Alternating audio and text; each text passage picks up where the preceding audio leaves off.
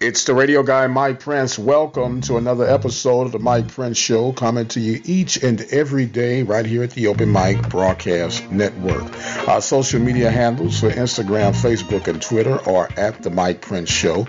The YouTube channel is Open Mic Broadcast Network. And our 24 hour dial in message line is 713 570 6736. And without any further delay, we are going to jump right into today's episode, reminding you that you should encourage someone to subscribe to our YouTube channel today. We're looking for 1,000 subscribers where we can go live on our YouTube channel to help continue spread our daily coverage in the world of high school and collegiate athletics. I sent a tweet out this morning and I'm going to attach it to this show on today for educational purposes only. There are so many things that are moving behind the scene that if you're really not careful, it'll sneak up on you before you know it. You'll be like, where did all this come from?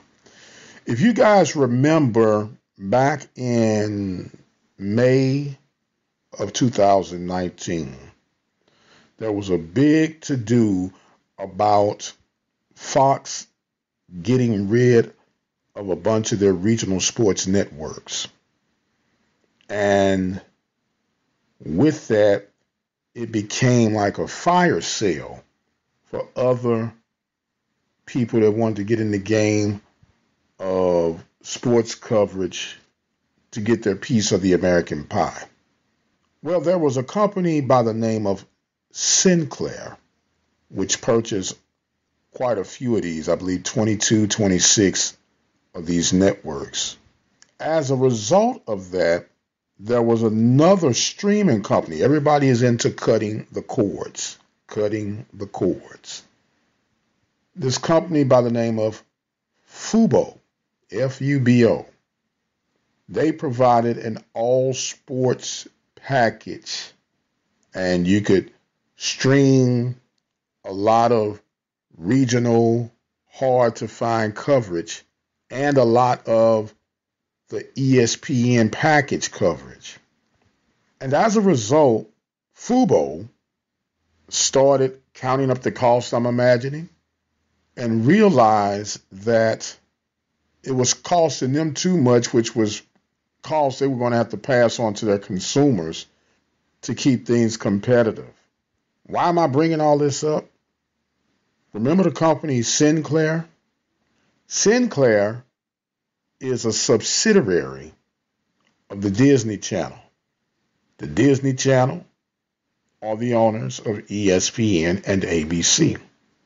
Going back, jogging your memory just a little bit, if you recall, Disney just launched their streaming package. And they had a mad, crazy number of something like 10 million subscribers over the course of a weekend when they first launched this thing.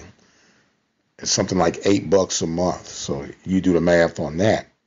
As a result, this Fox package that Fubo was carrying has been dropped as of January 1st, 2020. And once again, this, the response was the cost was too much to keep their prices low on Fubo's side of the books. So the price war has begun. Do not be surprised in the very near future if you do not see a Disney slash ESPN package stream. Another point I want you guys to take note of during the course of this football season, you may have heard or seen the commercial where ESPN was making the plea for you all to reach out to your direct TV distributors and say, hey, keep my ESPN because they've been going into a price war. All of it is a setup for Disney slash ESPN slash ABC to take a flight and have it to a point that if you want to watch any type of college sports, there's going to be one portal and one portal only. I think the word is called monopoly. I think we have laws to try to prohibit that. I think we might be to the point of having the quote unquote big brother of collegiate sports. Just something to make note of. Football Friday's coming up.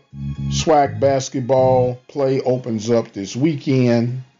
And of course, we have the Carlos Brown Show featured on Saturday, Mike Prince Show live featured on Sunday. Don't forget to click on the link below to read the story and have a better grasp of what I'm trying to share with you. I'm going to exit stage left for right now. I am the radio guy, Dr. Mike Prince, and as always, you guys be blessed, and we'll see you on the other side.